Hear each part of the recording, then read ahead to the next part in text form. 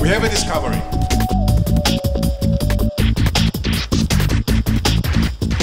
Hopefully not the only discovery.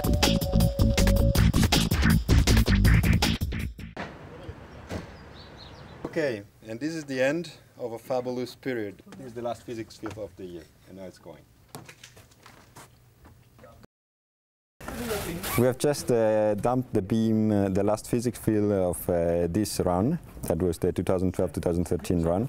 That accidentally is also the last uh, physics field for uh, the three years period uh, before the long shutdown one.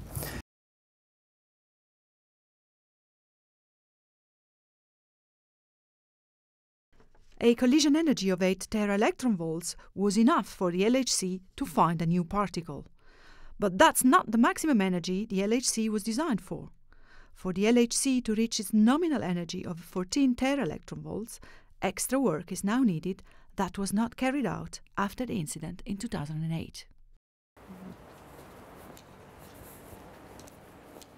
Here we are in SM18, which is the uh, LHC magnet factory, and um, a number of the magnets around us here will be going down into the tunnel in LS1 uh, to replace uh, magnets in, in the LHC machine.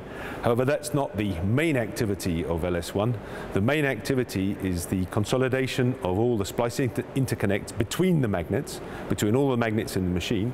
This is these small connections here, these pieces of superconducting wire, which are being uh, upgraded and the connections between them are being uh, clamped to ensure that there could be no possible possibility of a repeat of the uh, incident in September 2008, which delayed the uh, run of the machine by uh, over a year.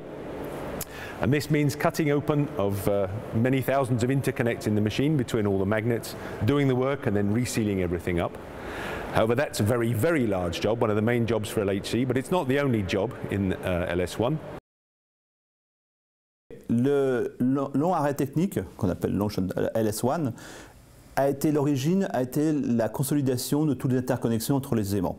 Ça, c'était pourquoi on a voulu le faire.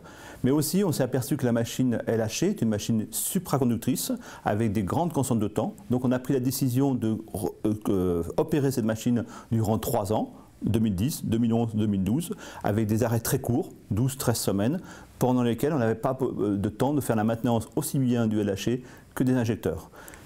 Et on va en profiter, on, va, on a allongé ce long shutdown pour pouvoir faire la maintenance globale de tous les équipements des injecteurs du LHC.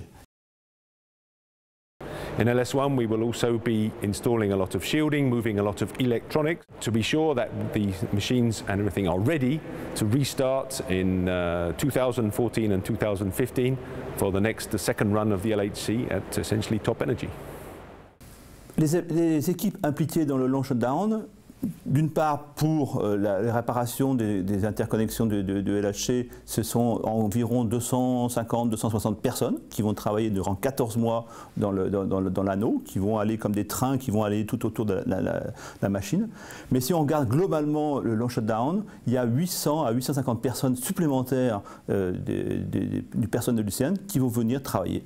Il faut dire aussi que pendant ce temps-là, les détecteurs ont aussi beaucoup de travail de maintenance de le détecteur et aussi du système de computing. Donc je pense qu'on peut dire que tous les départements du, CERN sont concernés par le long arrêt technique.